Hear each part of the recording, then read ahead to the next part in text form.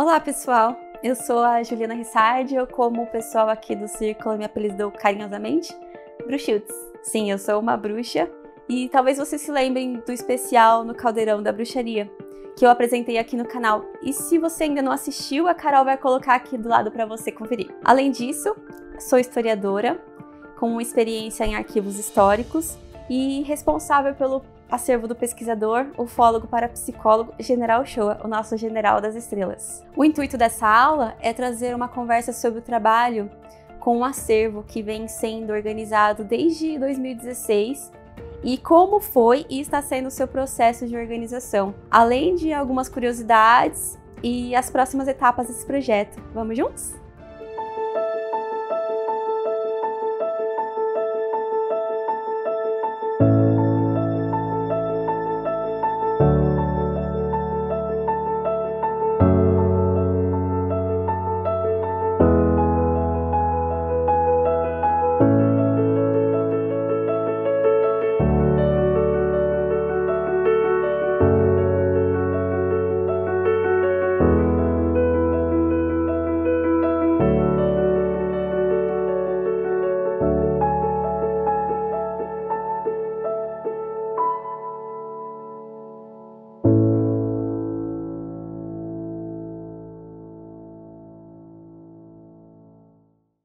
Projeto de divulgação do acervo do nosso mentor espiritual, iniciado aqui pelo Círculo, é um compromisso assumido com a família Ochoa, que confiou aos cuidados da escola a guarda dos seus documentos pessoais.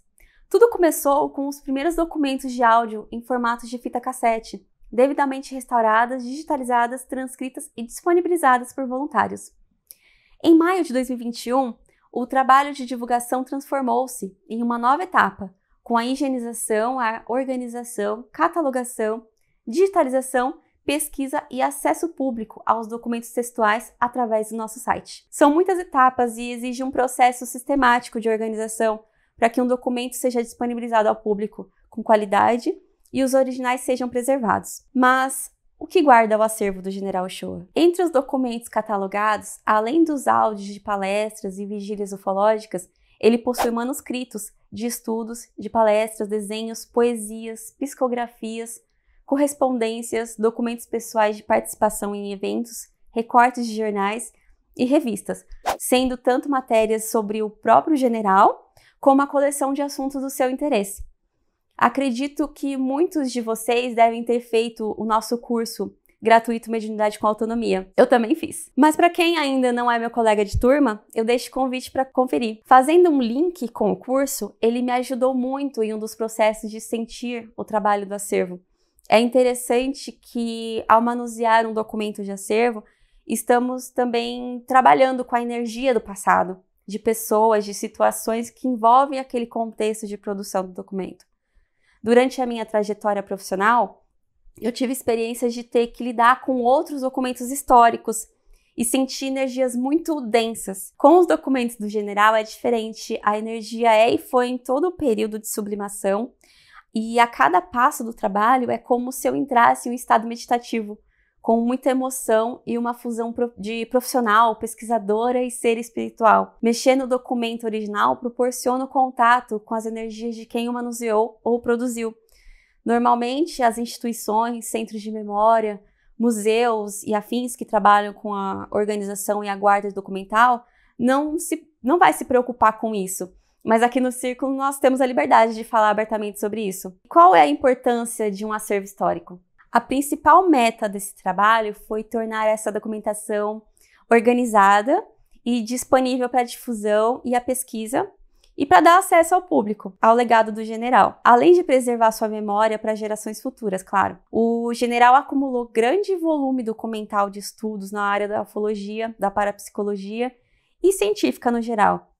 E aí o nosso trabalho foi organizar esse material com o intuito de facilitar a vida de quem fosse utilizá-lo como fonte de pesquisa futuramente. Por exemplo, nós disponibilizamos uma planilha a partir de tópicos presentes no acervo, se um dia alguém quiser saber em qual parte ou qual documento o general fala sobre Helena Blavatsky, a partir da planilha você saberá exatamente onde ele está. O acervo possui grande significado e daí vem a importância de cuidar da conservação e da preservação dos originais, garantindo o valor emocional, patrimonial e histórico. Isso nos lembra que se os documentos antigos e artefatos arqueológicos não tivessem sido localizados e preservados, muita da nossa história hoje teria se perdido. Dito tudo isso, eu vou contar para vocês um pouco da minha jornada como historiadora através do acervo do general. A verdade é que eu estava sendo paga para fazer o que eu mais amo, ficar mergulhado em documentos, lendo, cuidando e conectando fatos para criar narrativas através do que o próprio general deixou para nós. Eu cheguei no círculo no início de 2021 com a missão de dar continuidade aos trabalhos do acervo que alguns voluntários iniciaram no passado.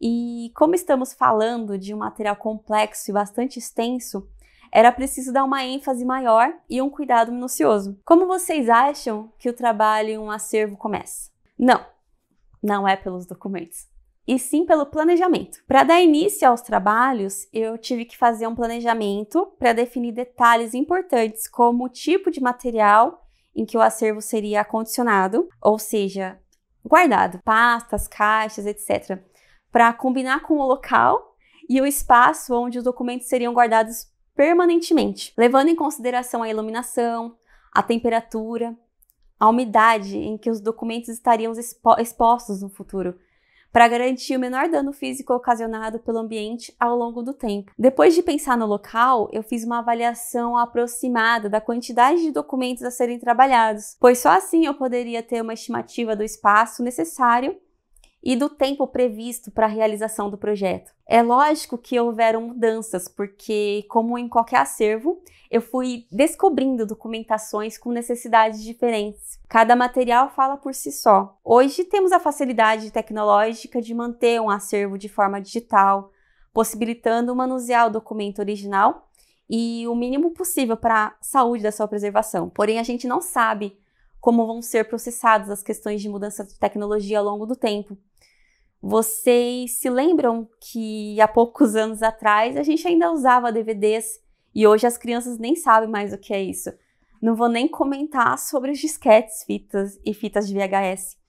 A história está aí para mostrar que nossa tecnologia, nossas tecnologias não são verdades absolutas e que pelo menos nos últimos 30 anos passamos por diversas tecnologias e difusão de informações. Por isso, preservar e guardar bem os originais é fundamental. A gente não pode ter certeza que os arquivos irão continuar abrindo é, em seus formatos específicos nas nuvens daqui a 20 anos. Estabelecido o básico para a conservação dos documentos, é hora de colocar a mão na massa. E primeiro eu fiz uma análise geral de, do todo.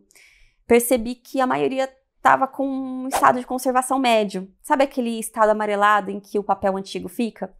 Aí eles tiveram que passar por um processo de higienização, que é uma limpeza simples para tirar as coisas como poeira, pequenos insetos no meio das páginas, grampos e clipes enferrujados, a ferrugem em torno para que o documento não continue sofrendo a corrosão. Alguns dos documentos manuscritos estão em estado bem frágil, com papel desmanchando, o que demandou cuidados especiais no manuseio e na guarda, para que o material original não se deteriore ainda mais e dure por mais tempo. Vocês sabiam que alguns documentos também precisam ficar em quarentena? Isso serve para a retirada de fungos, que podem acontecer em alguns casos. Tiveram pouquíssimos casos no acervo do general que precisaram passar por esse processo. A princípio, não havia nenhum documento que precisasse de restauração, mas eu queria falar um pouco sobre porque muita gente, quando pensa em acervo, logo associa com restauração. A restauração no Brasil ainda é um processo caro, além de modificar a originalidade do documento. Por isso, a gente opta sempre por sempre que possível pela conservação preventiva, para que não tenha essa necessidade. Essa é uma parte do trabalho mais técnica e exige que o profissional utilize equipamentos de proteção como máscara, luvas, jalecos, óculos de proteção, toucas. No Instagram do Círculo, há um tempo atrás, é, a gente publicou uns videozinhos em que eu conto com mais detalhes sobre esses equipamentos. Para quem tiver curiosidade, eu vou pedir para Carol colocar o link na descrição para vocês. E tudo isso é necessário para que o documento seja protegido de gordura, sujeira nas mãos, saliva, etc. Além de evitar que o profissional inale ou leve a alguma parte do corpo poeira antiga, fungos, inseto, veneno, sim, veneno. Antigamente era muito comum utilizar esse recurso para evitar insetos como traças e pequenos roedores. para proteger os livros e documentos. É, no filme Em Nome da Rosa, tem uma cena onde podemos ver um exemplo dessa prática. E apesar dessa explicação elucidativa, não havia veneno nos documentos do general. Era mais uma curiosidade mesmo. Eu adoro curiosidade, gente, então não liga. Enfim, depois de limpos, os documentos eles foram preparados para as próximas etapas, que foi a digitalização e a catalogação. É, não temos uma ordem certa, depende da necessidade do acervo. E eu optei por iniciar, por iniciar a digitalização antes de fazer a catalogação do documento. Infelizmente, alguns manuscritos a lápis ou a caneta e documentos muito grandes, como páginas de jornais inteiros, perdem um pouco da qualidade da imagem. Mas isso não quer dizer que, com o tempo, a gente não possa refazer a digitalização com novos equipamentos. Conforme eu digitalizei um por um, o documento ele recebeu um número que pode ser criado de várias formas. Na arquivística, a gente chama isso de notação, mas didaticamente pode ser comparado a um número de RG. Esse documento ele passa a ser identificável e essa numeração é a mesma que vai na planilha de catalogação, no documento digital, no documento físico e no acesso público, o que ajuda a localizar ele com mais facilidade após a descrição.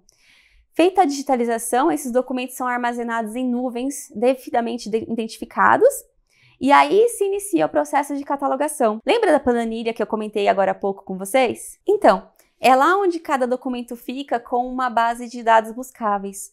Cada um possui uma descrição do assunto geral, a data do documento ou do contexto, o título, o tipo de documento, assunto, estado de conservação original e o link que dá acesso diretamente ao documento de forma digital. Além do seu armazenamento digital, os originais estão organizados em pastas transparentes, sem nenhum tipo de metal, para não haver riscos de oxidação pelo tempo, inseridas em caixas de arquivo de polietileno. É claro que eu não poderia deixar de dar o meu toque fofo no acervo, né? As pastas internas elas foram separadas com marcadores em formato de OVNIs.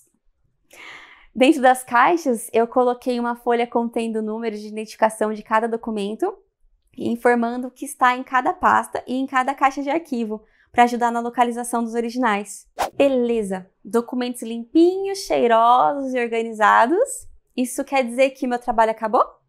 Não. Atualmente estamos na etapa da transcrição dos manuscritos. Nem sempre a grafia é tão fácil de ler, no caso do general, depende da pressa em que ele escreveu ou quem o inspirou, quem sabe. Com o tempo, fui me habituando e é possível identificar se o documento é dele ou não pela grafia, através da personalidade da escrita ou até mesmo quando não há assinatura. A letra dele também se modifica dependendo do ano, isso é bem normal pode perceber que a sua grafia provavelmente se alterou com o passar dos anos. Como todo documento de arquivo, os manuscritos têm seus desafios. E dependendo do tempo em que foi produzido, pode haver perda de informação pela deterioração, a perda de organicidade. Sim, infelizmente temos muitos documentos sem começo nem fim por não estar paginado ou a perda do documento mesmo. É comum. A transcrição é super importante porque facilita o acesso à informação e a pesquisa, não perdendo a qualidade e o mistério que envolve o documento original. Lá no site do Círculo, você pode encontrar regularmente atualizações sobre o acervo. Já são mais de 480 documentos disponíveis e cada um deles organizados em formatos de aulas, totalizando 38 aulas. Ah, e dentro do acervo também é possível encontrar um projeto super bacana com os dados do general, também transcritos, chamado Startup Project.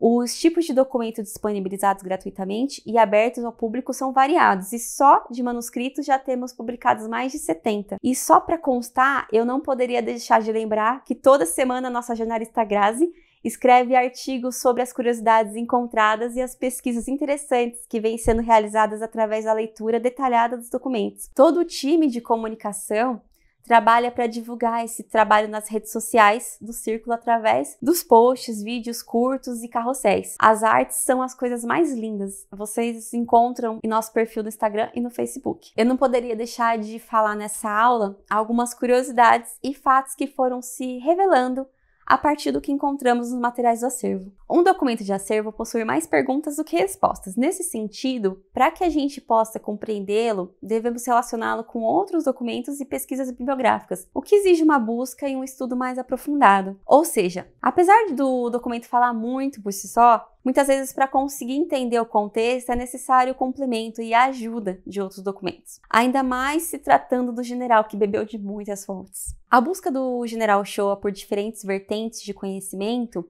fica clara quando se começa a estudar a sua vida e sua obra.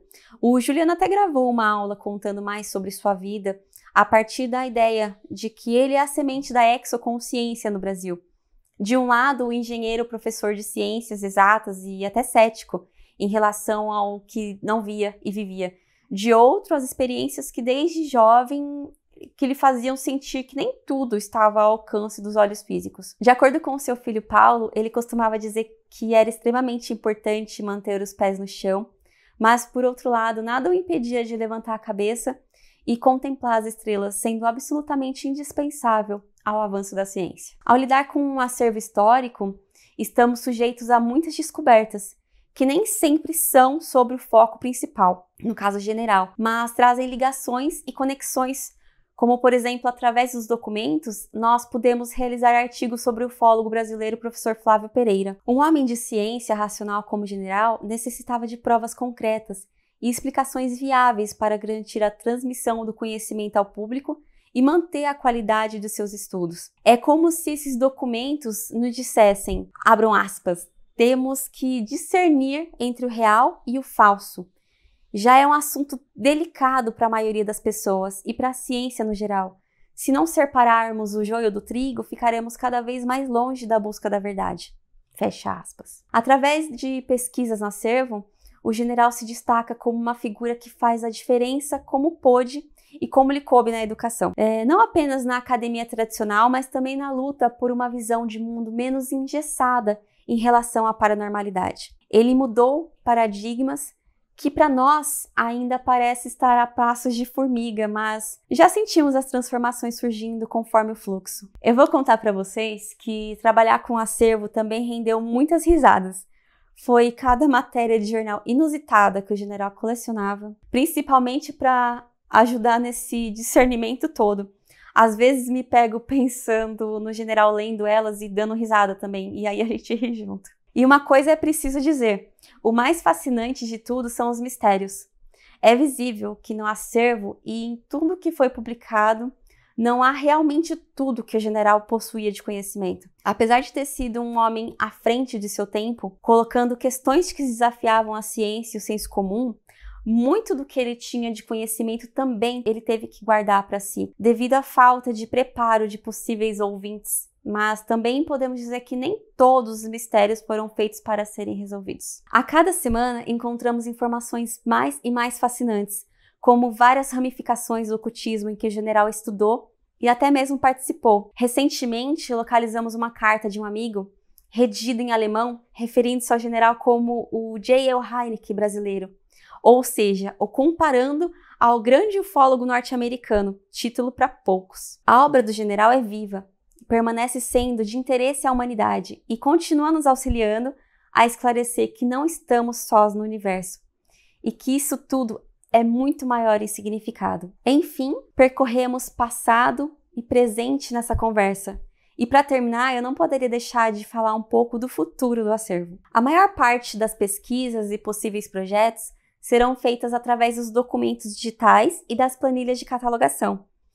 Os originais, além do seu valor histórico, podem ser necessários em casos de alguma digitalização de melhor qualidade, fotografias, filmagens, para atender diferentes níveis de estudos e pesquisas possíveis. Mas, por motivo de segurança e saúde deles, serão requisitados apenas se realmente necessário. O acervo é um patrimônio insubstituível e o cuidado é o terreno firme para que os documentos continuem com a missão que o general Shoa recebeu em 1968, lá na fazenda de Alexânia, do seu mestre. Você tem uma missão aqui: observar, pesquisar, escrever livros e divulgar. E foi o que ele fez até o final da sua encarnação terrestre e continua fazendo no plano espiritual. Quem conhece a história e a obra do general sabe que não existe a limitação do espaço-tempo para fazer acontecer. Ele nos ensinou a nunca parar de buscar, a sermos seres independentes no encontro do conhecimento. O que faz sentido é a busca, e esse é o jeito Nova Terra de unir a ciência às necessidades de pesquisas mais elevadas e menos engessadas. É preciso fazer com que a história olhe por outro viés, pesquisando conhecimentos históricos que não se prendam ao entendimento do passado apenas, mas que nos ajude a compreender o passado para viver o presente que o presente é e assim construir um caminho de novos olhares para o futuro juntos. Obrigada por assistir. Se quiser saber mais sobre o general, conhecer o acervo, acesse o nosso site circuloescola.com. Se você já conhece ou acompanha o conteúdo, deixe aqui seu comentário, é muito gratificante essa troca com vocês. Então, mergulhe com a gente nessa. Até a próxima!